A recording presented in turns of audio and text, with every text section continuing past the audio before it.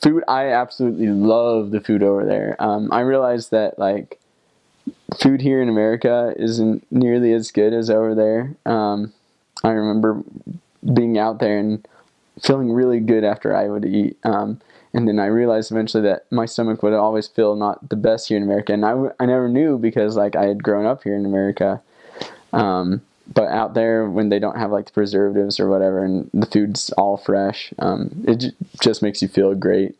Um, so it's a lot of uh, a lot of vegetables, which is which you end up loving, um, and a lot of potatoes.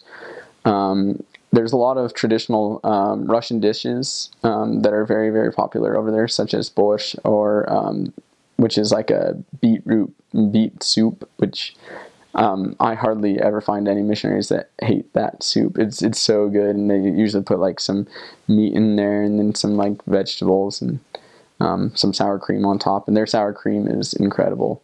Um, and then there would be uh, pelmeni, which is like almost like pot sticker type type of a deal, like um, little uh, pasta pieces with a meat inside, and you would eat that all the time as missionaries, especially because it was really cheap um, and you can make a lot of it.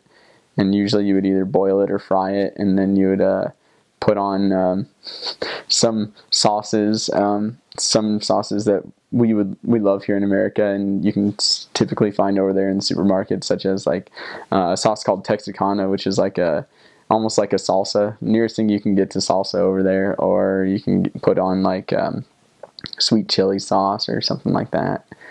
Um, and then they also like blini, which is Russian pancakes, which they're almost like crepes. Um, those are amazing. And if you ever do eat with members, um, I'd say probably about six times out of ten they'd feed you blini, um, and it's a really really awesome dish. Um, and then tea. Um, everyone's tea drinkers over there. They love their tea. Um, so you have a lot of herbal tea, and you get to like that a lot, um, especially in the winter. Um, and then each country has its own like little uh, little dishes. Like I know Lithuania had one that was called uh, cepelini.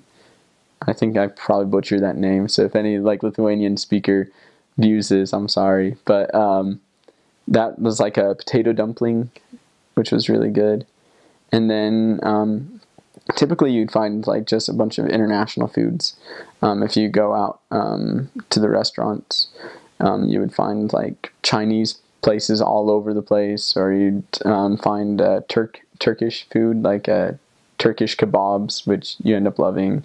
Um, probably one of my favorite places to eat um, was this Armenian restaurant um, that was in a city outside of Narva, Estonia, and it was uh, it's called Ashot's uh, Tavern or Pub or something like that. And it was like it was like a pub or a tavern, but um, we would have like uh, traditional Armenian food, and those people they know how to make uh, make food right. It was it was amazing. Um, and then you would have there would be tons of pizza places everywhere, um, but it's not typical American pizza. You it's um, very Europeanized. It's kind of interesting.